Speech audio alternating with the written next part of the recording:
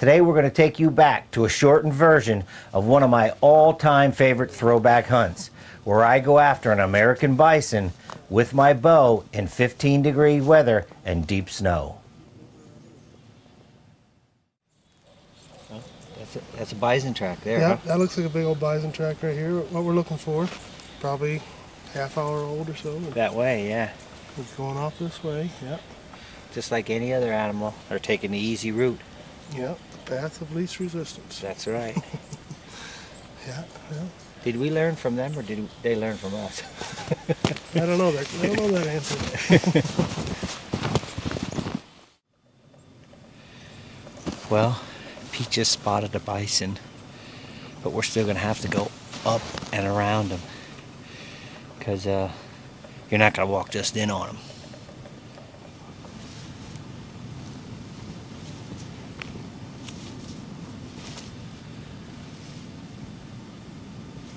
Well, what do you think? Well, I don't see the buffalo where we where we thought we were going to see them. Yeah, they wandered naturally. Off, they wandered off. but uh, why don't you set up over there by that fallen down tree and some cover there with your, with your cameraman? And Okay. I want to take a little walk down, scout around, glassing these fields, and if I see them, I'll try and pull a pressure on back towards you. Maybe Yeah, maybe. Or maybe want to wander by it when, Right. when you're set up. Yeah, that'd be nice, wouldn't it?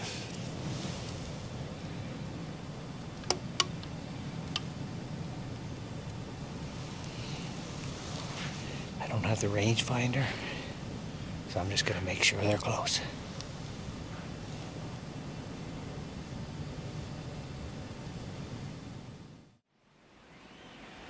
Here they comes, two of them, two of them.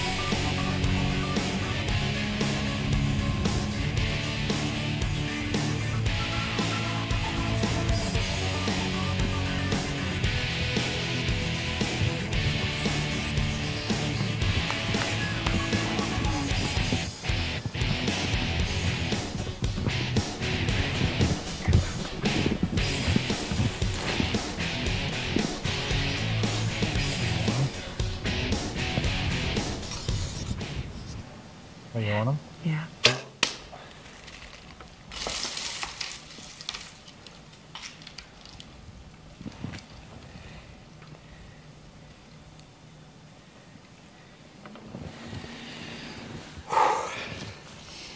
I think I hit him at the right spot.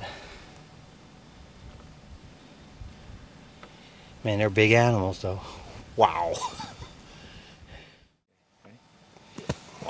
What an awesome animal, huh? There's your bison. Oh, boy.